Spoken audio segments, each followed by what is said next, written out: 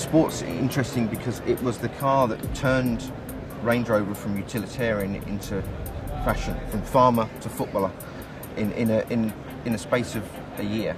And, and it's the car that probably made Range Rover fashionable. And now it's moved on a step. What the Range Rover has that the others don't is the terrain response because what you can do with the Range Rover off-road you probably couldn't do with a Cayenne or an X5 or an X6. It now feels like the badge sport is appropriate because it's got a little more, you know, a little more of an aggressive line to it.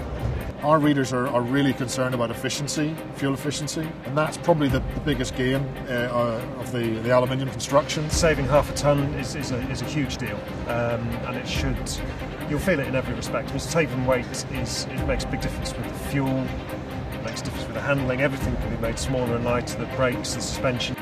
Occasional third row of seats is something that's been in the pipeline for seems like forever. So it's good to finally see it. There's no doubt that it, it, looks a very efficient execution in terms of the way they stow away right into the boot floor, leave you with a perfectly normal boot when they're not being used. For a £1,500 option to be able to have seven seats for that occasional, when you're on dad's taxi service, that sort of thing, that's going to be a must have option for me.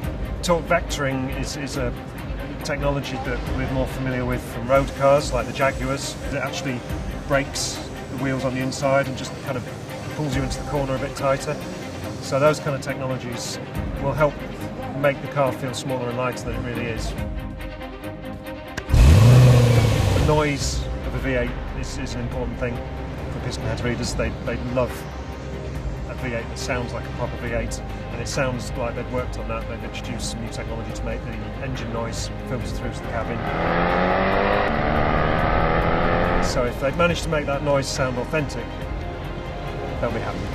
And they're even talking to me about uh, Nordschleife um, lap times. I've never heard Land Rover talk about Nordschleife lap times, and I, the time I heard was competitive and almost matched a Porsche Cayenne Turbo.